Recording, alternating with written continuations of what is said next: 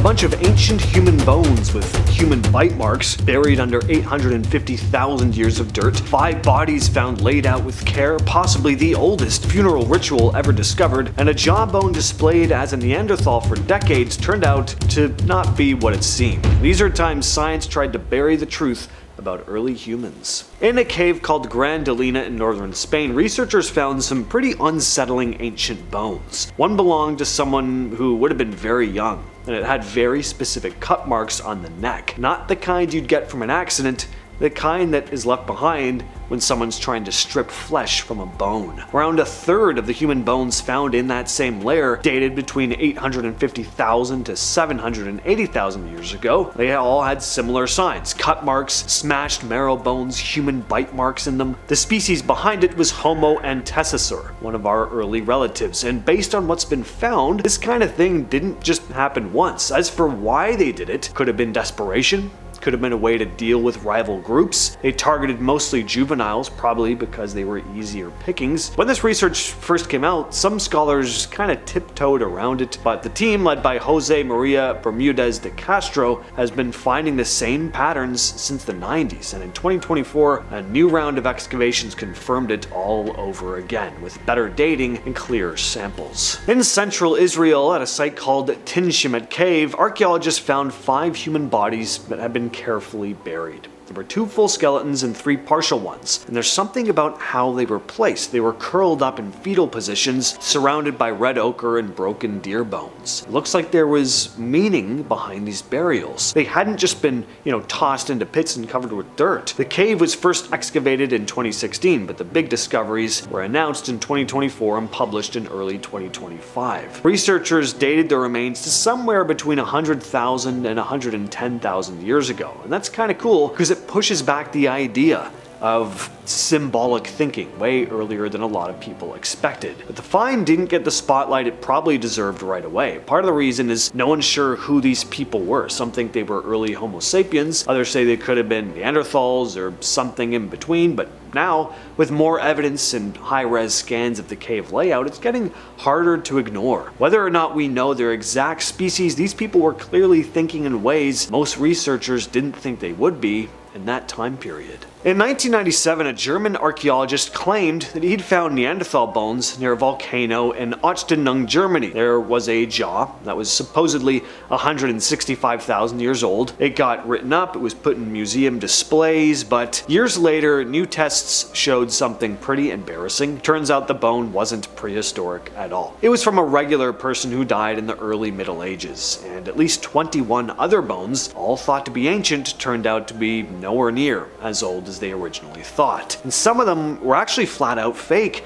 The man behind it, Axel von Berg, is now being investigated. It's looking like this wasn't just sloppy science. There might have been a real effort to fudge the evidence and make the site seem way older than it actually was. This went unchallenged for decades. The bones were cited in papers, taught about in schools, shown to tourists. Nobody questioned it until someone finally sent them out for proper dating. That's how deep some bad data can get buried. For years, textbooks said the first humans arrived in North America about 13,000 years ago, during the last ice age. That was the Clovis model. But then scientists at White Sands National Park found something that didn't fit at all. Human footprints pressed into ancient mud that hardened into rock. And when they tested them, they turned out to be 21,000 to 23,000 years old, so way older than anyone thought people were even here. Some prints look like they were from teenagers, some were even younger, and a few ran alongside the tracks of giant sloths. But even after the first study came out in 2021, a lot of experts pushed back, saying the dating might be off. So the research team went back, tested again using completely different methods, and came back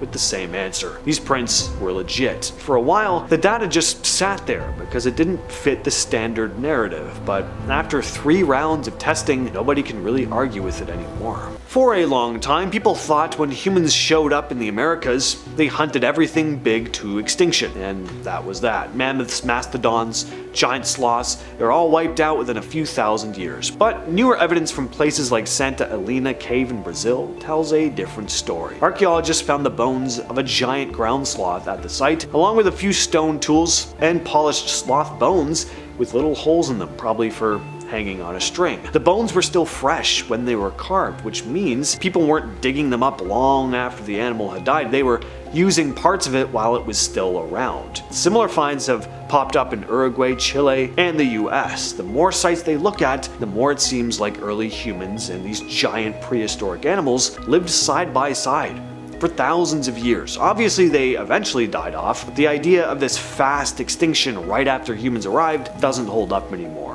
Old story was simple, this version's messier, but probably closer to the truth. In the early 1900s, a Czech archaeologist had a huge hold on what people believed about early humans in the Americas. His name was Aleš Hrdlička. He worked at the Smithsonian, and he was adamant that humans hadn't been in the Americas for more than 3,000 years. Anything older, he was like, no, not possible. And because he was in charge of the biggest institutions in the field, his opinion carried a ton of weight. Even when archaeologists started digging up stuff that clearly looked older, like the Folsom Prints in New Mexico in 1927, where a group of archaeologists found these carefully shaped stone points buried directly alongside the bones of an extinct Ice Age bison in New Mexico. Obviously these were tools, and they were dated to about 10,000 years ago, but Hrdlička completely dismissed them, and because nobody wanted to challenge the top guy at the Smithsonian, they kept quiet. It wasn't until decades later, when more discoveries piled up and dating methods got better, that researchers finally started speaking up. Turns out humans had been in the Americas way before 3,000 years ago, possibly even before 20,000. Hrdlička uh, may have not faked anything or hidden stuff, like bones, but his influence basically put a halt to the conversation for a long time. A lot of early discoveries you know, probably got ignored or tossed aside just because they didn't fit this guy's narrative.